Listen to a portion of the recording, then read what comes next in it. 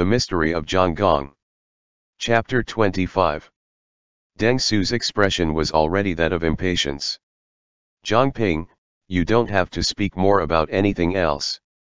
You can just tell us who the true culprit is. Under the Yamen runner's palms, Lu Zonghe hopelessly struggled. Zhang Ping bowed. My lord, the true culprit I just mentioned was the former Ministry of Justice's chief minister, Dou Fang.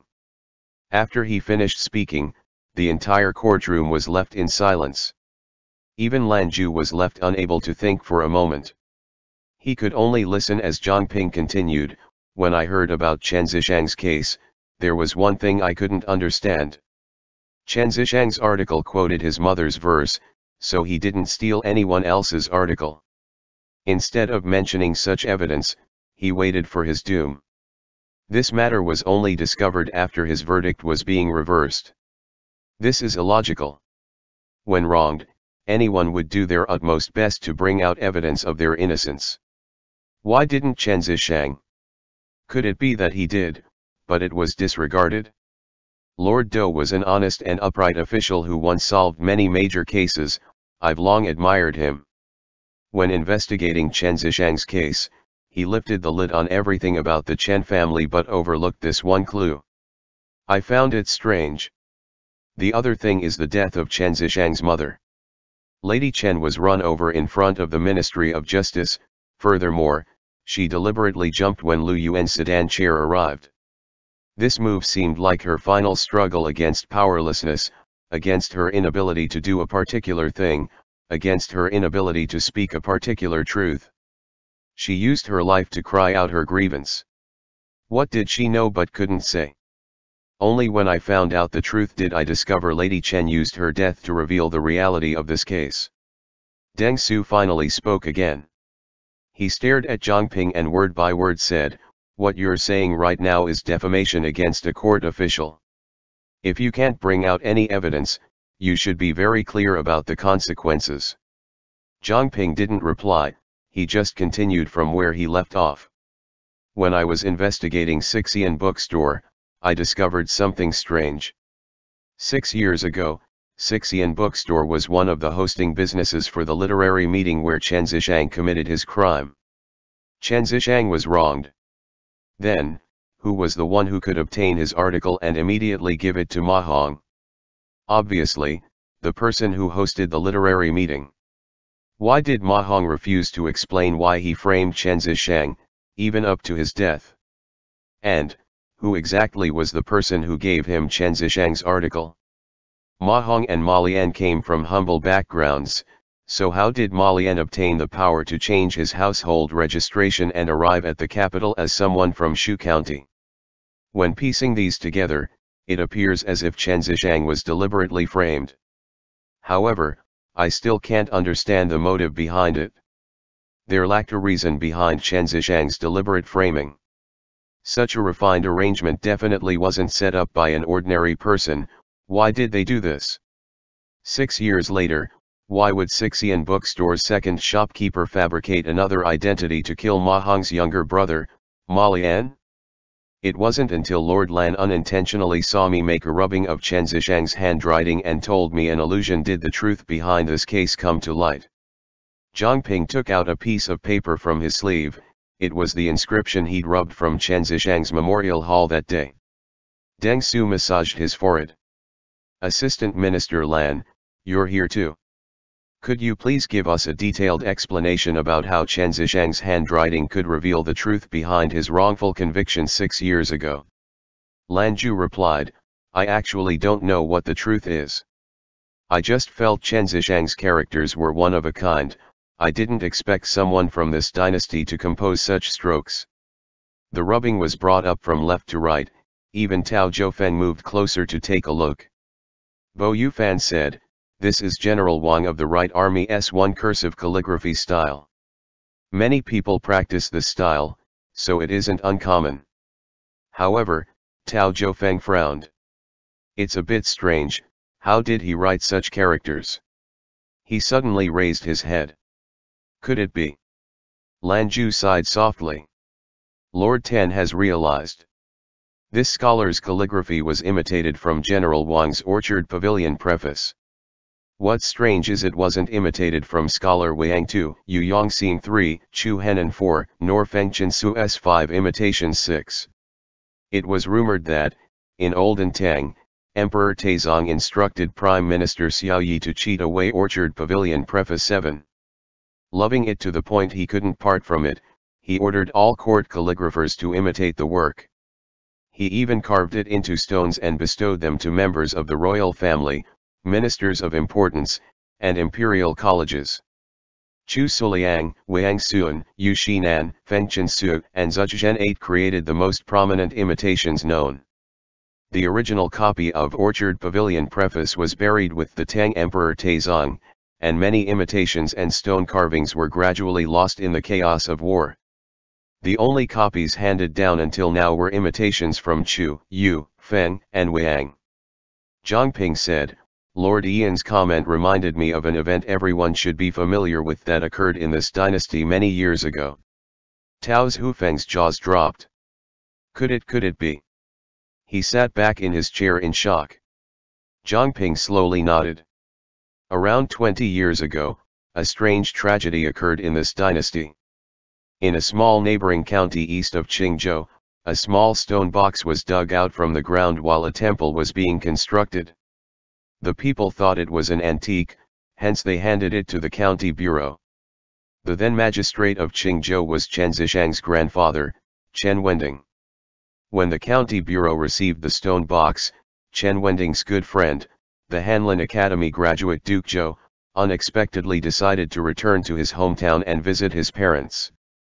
Having to pass Qingzhou on his way, he stayed at the Chen residence as their guest. He was proficient in antiques, after appreciating the stone box, he concluded it may have been an item from the Tang dynasty.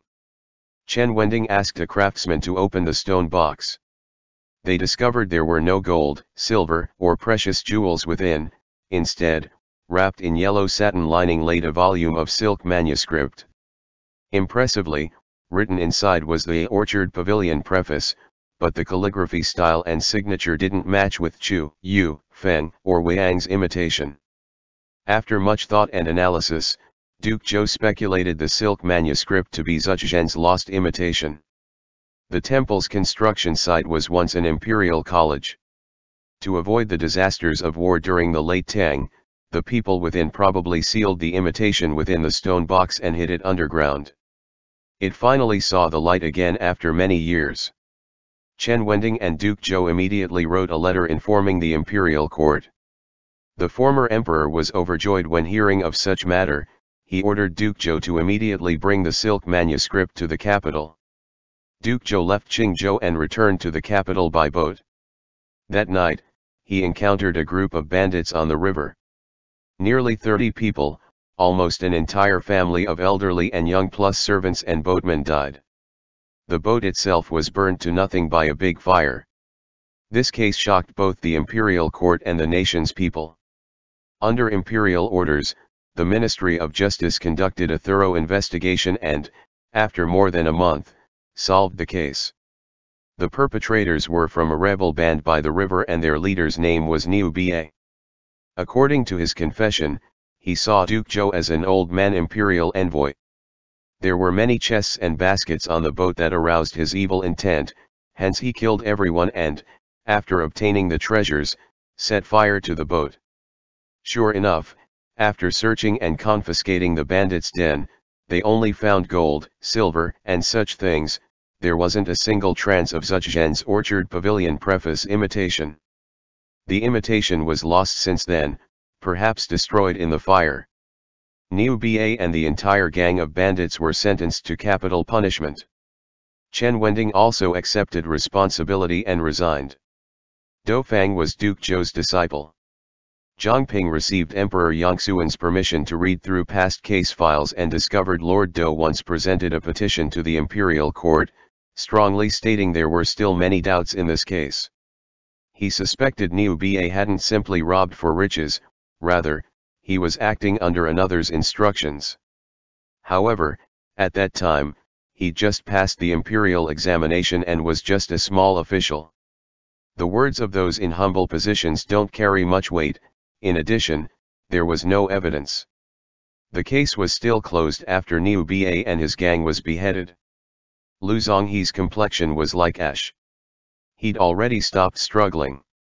His hair was scattered from his efforts just then, revealing the half-baldness underneath.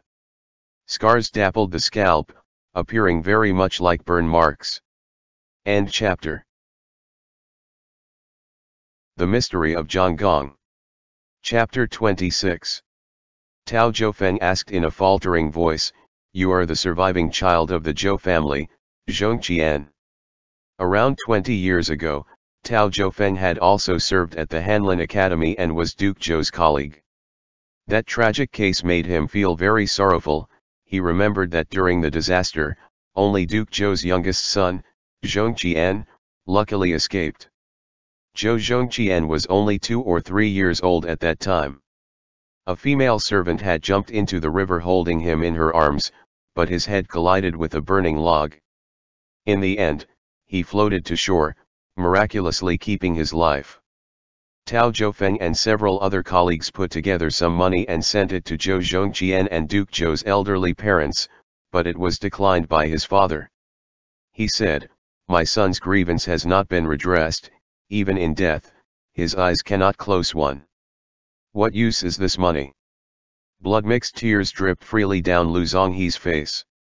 Zhang Ping couldn't bear looking at him, hence he continued, when I was checking past files, I discovered that after the case closed, the brothers Ma Hong and Ma Lian suddenly appeared on the Northwest Ganliang County's household registration record. I personally went to investigate and found out Lord Dou secretly approved Ma Lian and Ma Hong's household registration before placing them in the care of a poor household in Northwest Ganliang County. The name list of officials who helped Lord Dou with this matter is recorded. All ministers present can send word and inquire anytime. Ma Hong and Ma Lian were actually the bandit, Niu Ba's, sons. Bo Yufan was at a loss for words. Why did Lord Dou do this? Tao Zhoufeng sighed. Lord Dou was magnanimous. He was even willing to take great care of his mentor's murderer's children. He truly set a great example for the world. Deng Su coldly said, I suspect Dou Fang did this to find the whereabouts of the real culprit who incited Niu from these two children. Niu sons were still alive, so perhaps they were holding on to some secret, or maybe, the real culprit would feel concerned and expose themselves. To Dou Fang, who couldn't find anything on the real culprit at that time, this small lead was better than nothing. Zhang Ping said, it's unknown what Lord Dou was thinking at that time, however, I found some letters with Lord Dou's handwriting at Ma Lian and Ma Hong's home in Ganliang County. This proves that Lord Dou had always been taking care of these brothers, even though their family was poor, they could still study. None of them knew their true background, so both of them saw Lord Dou as their most revered adoptive father. Whenever Lord Dou contacted them, he'd use the owner of Sixian bookstore as his identity. Dou Fang violated the imperial court's prohibition forbidding ministers from carrying out businesses and privately opened Sixian bookstore. Perhaps this way it was more convenient to find clues on Zhuzhen's imitation of Orchard Pavilion preface. If the real culprit had this imitation in their hands, they may sell or copy it. A bookstore was the easiest place to obtain information. But Dou Fang waited 20 years for nothing. By then, Niu Ba's two sons had already grown up and both of them were well read. His eldest son, Ma Hong, even passed the Northwest County's admission exam and came to the capital for the imperial examination.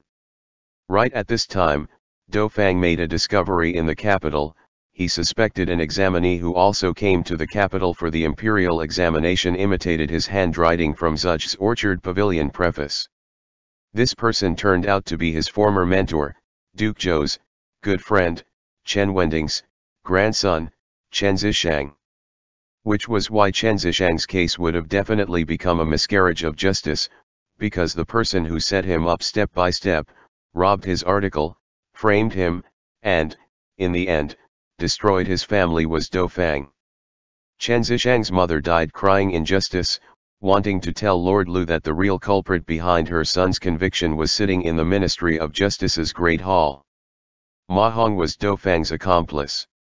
He and Dou Fang worked together to cause a miscarriage of justice six years ago. Even before his death, he didn't speak the truth. In the end, nobody knew whether it's because he discovered his true background or if he decided to use his life to repay Dou Fang's kindness. After Chen Zishang's unjust case, it was Lord Dou who rechanged Ma Lian's household registration. Even to the end, Ma Lian had no idea about the truth behind this, this could be seen from how he wanted to take revenge on Lord Yun and Grand Preceptor Wang. After Chen Zishang's case, Dou Fang may have felt he accomplished revenge. Ma Hong also lost his life for this, so he wanted to let go of Niu Ba's last descendant and let him live well. Hence, he changed Ma Lian's household registration to Wangshan County of the Shu Prefecture too and left Sixian bookstore to Duke Zhou's son, Zhou Zhongqian, before committing suicide with poison. But Ma Lian didn't know the truths. He thought his adoptive father and brother were both good men. Because Lord Yun reversed the verdict for Chen Zishang's case and sentenced Ma Hong to death, he wanted to avenge his brother. Hence, he came to the capital to rely on his adoptive father's help, not knowing his adoptive father was Dou Fang and was already dead. Child Zhou may have told him his adoptive father passed away from illness. Although Dou Fang let go of Ma Lian, Child Zhou wasn't planning on doing the same. Zhou Zhongqian struggled, Expressing his need to speak, Deng Su signaled the Yamen runner to take out the cloth from his mouth. Zhou Zhongqian hoarsely said, That's right, his father murdered my entire family, why should I let go of him? The vague memory of that night from his childhood was his eternal nightmare. There were only scattered fragments in his dreams, a sky of red, the piercing pain of scorched skin, a blade's incoming gleam, the wretched screams from both men and women, and icy cold water pouring into his nose and throat. He'd choke awake to find himself drenched in a cold sweat. Nightmares of his family's demise were destined to haunt him for an entire lifetime, he would never break free. His teeth gritted until blood spewed out. The Yamen runner stuffed the ball of cloth back into his mouth. Zhang Ping continued, Ma Lian didn't speak of his plan to the Sixian bookstore's staff. First, he unscrupulously began rising to the top and deliberately tarnished his reputation. Later, he finally got acquainted with young Master Wang, got in contact with Lord Liu, and prepared to find evidence of cheating at the imperial examination. Wang Xian stretched his neck out. What evidence? Me, my dad, and my brother, our entire family's candid and upright. Wang Yan glared at him. Shut up.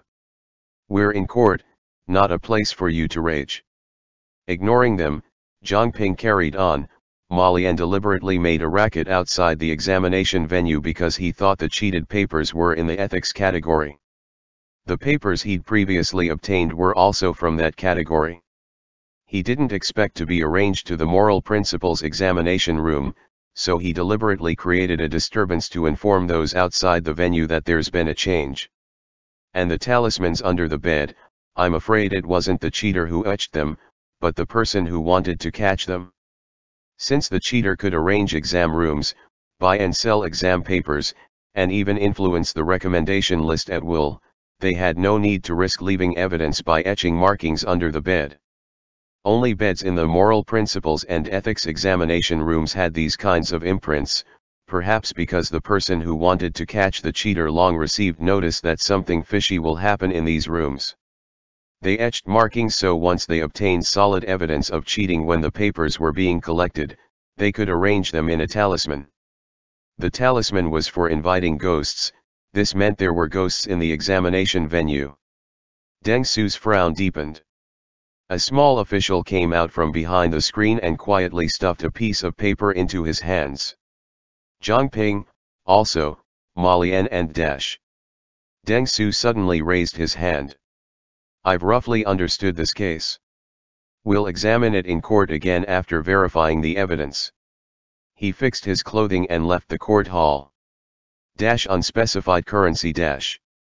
Zhang Ping walked out from the Court of Judicial Reviews. The glaring sunlight created profound shadows on the ground. Zhang Ping looked down at the shadow beneath his feet. Wang Yan paced to his side and stiffly said, the truths behind this case will come to light. I admit you did beautifully for this case, but you may not meet a good outcome. Good luck. Zhang Ping responded with and before slowly walking forward. He understood there were some things he couldn't say. For example, six years ago, Yuntang already discovered the truth behind Chen Zishang's case. It was the imperial court who suppressed any information from leaking to preserve Dou Fang's reputation. He could only engrave Chen Zishang's handwritten articles on his memorial hall and obscurely express the truth. If the truth was publicized back then, perhaps Ma Lian wouldn't have been murdered. For another example, the two maids from the Lu family who suddenly died in prison were just like Ma Hong and Ma Lian. They used their lives in an attempt to overthrow their so-called evil. Was it truly worth doing this? Zhang Ping stood on the street. The sun hung in the sky, all those under the sunlight had shadows by their feet.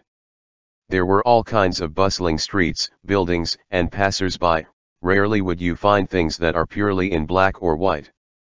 Beside the dazed Zhang Ping, a voice sounded. You accomplished such a major case, I'm almost afraid of inconveniencing you to continue living at my shabby residence. Lan Ju stood three or four steps away from him, looking at him with a small smile. Zhang Ping's eyes lowered. I'll move out immediately. Lan Ju's smile grew. I still have to go back to my yamen. You may go back to the residence first. Having not seen you these past few days, Huier kept asking of you, my head is still aching. You don't need to work right now, I grant you three days off, We'll talk after you've recovered your spirit. If you lack money, you can go to the accountant's office and receive next month's salary in advance. Zhang Ping was silent for a moment before he softly said, Many thanks, Lord Lan. Lan Ju walked towards the sedan chair by the Court of Judicial Review's entrance and hurried directly to the Minister of Rites. In the evening, Yamen runners brought back the bloody clothes found at Lu Zonghe's residence to the Court of Judicial Reviews. Dash unspecified currency dash. A few days later, Ma Lian's murder case was closed and the culprit, Lu Zonghe, was beheaded. Wang Suanbei sat in prison for a while before he returned to his residence. Grand Preceptor Wang didn't say much either. When Chen Zhou was released from prison, he held Zhang Ping and wept bitter tears. Brother John, you're the ultimate savior of my life. I'll be your cow in this lifetime. In my next lifetime, even if I become a horse I'll still repay you. You are my dash. Zhang Ping stopped Chen Zhou before he could become the other's reborn parent. Chen Zhou bought large stacks of joss paper to burn at Chen Zishang's memorial hall, ceaselessly sobbing. His mother had been secretly taken care of by Chen Zishang's father away from his residence. But she was a shrewd woman. She knew Father Chen's first wife gave birth to a son and she acknowledged her lowly status, so there was nothing for her to compete. She requested a piece of land and bought a small residence to live in alone. Because of this, Father Chen found her very virtuous, so even after his first wife gave birth to a son he'd occasionally visit her. Just like this, Chen Zhou was born. After Chen Zhou was born, his mother became increasingly concerned, afraid that the first wife would think she'd want to compete for the family property and harm her. So, she secretly brought her child and wealth to a northwestern province, severing all contact with Father Chen since then. Because of this, she unexpectedly escaped from a calamity. Chen Zhou sobbed. My mother would always say to never think about nor take what's not yours, otherwise, you won't meet a good outcome. She's truly too sensible. After he finished crying, Chen Zhou asked Zhang Ping, how did brother Cao become Minister Lan? Since you've entered Lord Lan's residence, does this mean there's hope for a scholarly honor in the future? Once you're successful, don't forget to support me. Zhang Ping softly said, I don't know. The imperial court worked as usual. Under Tao Zhoufeng's scholarly influence, the Ministry of Justice decided Wang Yan would take the lead to diligently continue snatching cases from Jingzhou 3 Prefecture and the Court of Judicial Reviews. The Ministry of Appointments continued to focus on cleansing out political corruption and ambition. For Prince Huai's marriage, the Ministry of Rites was still so busy their four legs were facing the sky. But before Prince Huai's grand wedding, there was something that needed to be settled. The Minister of Rites Chief Minister, Gong Songming, raised the list of Imperial Examination Palace graduates to Emperor Yongxian. Your Majesty, will these 29 people be on the court examination list? Emperor Yongxian raised his brush. List Zhang Ping's name as the 30th. Have Tao Zhoufeng become his mentor. End chapter.